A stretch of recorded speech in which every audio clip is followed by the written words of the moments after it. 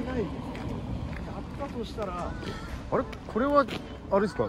前期前期なんですか？前期でで後ろをジーズのバンパーに変えてあテールを車外のテールに変えて、まあ、マフラーも一応なんでしょう中純正中古みたいなの引っ張って、はいはいはい。でカッターだけ刺してるだけなんですけあどであとはもうサスペンション自体もジーズのサスペンションに変えてで少し下がってる。からねそうですねちょっと下がってであーこれこれですね。このエアロスね。あこれがねはい。下あれカッターっていうか。カッターですカッターです。へえ色はあれですね独特の。へええまあいただき物なんですけど。え2.5リッターですか？2.5ですね。ちょうどねサイズ的にはちょうどドンピシャですよね。なんだかんだ踏んだらまあそこそこ軽い。軽いですからね。軽いんですよ。軽い軽い。でそこにこれは何もともとなんだもともとですね、実のバンパーについてるんですけど。で、こウェッジだタイヤはいただき物なんですけど。あいいですねはいあレオニスはい。16インチをもともと入ってて、まあ、譲り受けて18インチになって、えいいっすねこれレグのいただいてもう、これ僕にもったいないんじゃないかと思うぐらいで。これ一番いいいいあれですよいや、相当いいですよ。相当乗り心地も変わりますからねで、あとはパッドがエンドレスのを入れてるぐらいです、あね。あはいはいはい。へあとは実のブレースを組んであるのと、ーああとは補強してあるんですか。補強してあります。で、スタビも結構やってるじゃないですか。でスタビも ISF のものに変えてあったりだとか。あそう強化スタビ入れるとやっぱロール変わりますか？あ全然違いああそうですか。これ見た感じじゃ全然わかんない見ですね。た感じは分かんないですけどな中身がっつり。中身盛りだくさん。いいじゃないですか。あとはもうなんかオフ会かなんかで買ったシェイクルのミニコンみたいなのとああとピボットのスああいやローコンともう結構やってますね。ブルパンチで結構やってありますね。割と。な中身だけですよ。そ外からは。外ではそんなにちょっとはまあ、はいまあの自分が乗ってなんぼですからね、ええ。その乗った感じでどうかとか、コーナー攻めてどうねやっぱそうそれがあれですからね。なんでやっぱり見たらだけじゃ分からないけど乗ったらある意味ちょっと別かなりかなりやってますね。別にじゃあこれもこれはあれですか？このスポイラーみたいな。これはもともと S パッケージだとついてるってやつですね。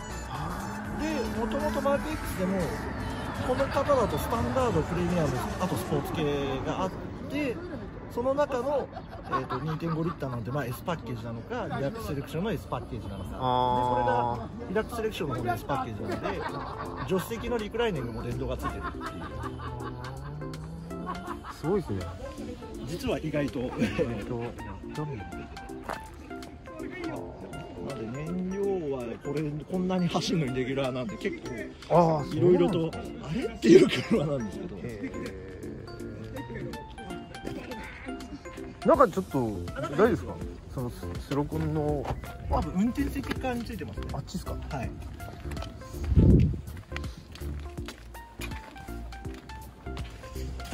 ちょっと中が汚いんでいえいえああの右側の方ですね。はい。あまあレーダーと。スマスマートフォンホルダーですか？そうですね。そこにあると楽かな。ああすごいあとは本当に地味なところで言うとサイドミラーをちょっと変えてあってですね。え？これこれですか？普通あのー。そうですね。普通のミラーなんですけど鍵を開けたりなんかにすると実は実は流れるんでええちょっとこれもう意識で売ってるんですかここれは売ってました。楽天かなんかでこれは珍しいですね。初めて,、ええ。初めて見ました。で見やすいですしへえ配線次第ではミラーのヒーターもつくんですけどそこの配線は特にやってないんですけど。まああんまバブル期の車にありましたけどね。ええ。昔。えー